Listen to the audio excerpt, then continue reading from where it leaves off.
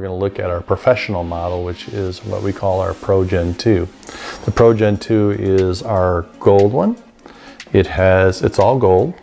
It also has where it is a positive charge in housing, so when we use it, we're seeking ground when we're, we're going through it, but it has multiple settings. So the first setting we're going to go into is low. So the low is five times stronger than that of my um, standard light. But low is used for a lot for um, acupoints, carotid artery, for viral, um, any kind of those kinds of work. And then the next level I go into is high, which then is seven times stronger, producing almost 200 milliwatts per centimeter squared, which means that's a lot of energy coming in and uh, or 700 total milliwatts output power. So when I put this on high, I go one, two, now it's on high. You got lots and lots of power. You guys can probably see this in the light. This will penetrate the hoof wall of a horse into the dermis and eliminate the um, swelling and inflammation of a foot. Why is that important? Who's all heard of laminitis in horses' feet? So if you can reduce the swelling, get the circulation going again, it, it gets the blood flow to go through a foot and takes care of the problem. And that's huge. It also works wonderful at the back of the foot to, to flood the whole area of the cartilage of the back of the foot of the horse and stimulate that. So I use this light all over the horse's feet. On high, I also use it for muscle release and deep tendon issues.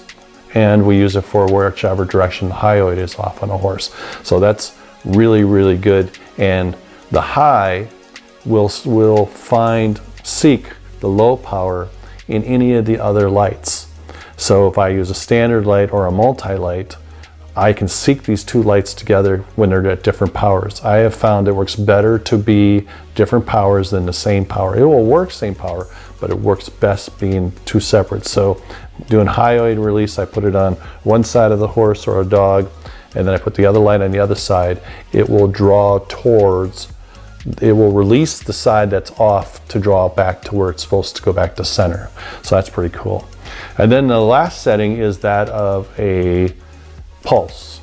So when I'm pulsing on an animal, well, you have to see how she's seen that versus, or felt that versus uh, the regular. So it, it is for anything that is chronic or stagnant or has a memory to them. So if you use it on their body, they will tend to override the brain and allow it to heal. So this proprietary frequency that I'm using will trick the brain into healing. So where are some good times that you'd want to use that? A lot of times I use it on scars, gelding scars, anything that had a traumatic injury to it, anything that is not healing. So if this is an older injury, a lot of times I'll start out with this and then just go back to regular red light. So Three, three things it does is it's got low, great for acupuncture work, great for carotid artery work because it's not so much energy, it's going more broad base. Then you got the high, high is great for horses' feet, deep tissue areas, um, areas where you need a lot of energy, horses or dogs with like um, ACL tears or CCL tears, different things that where you need some energy to start the healing. And then you have the pulse feature, which is for anything that's chronic or has a memory to it. So that's the wonderful things with my ProGen 2.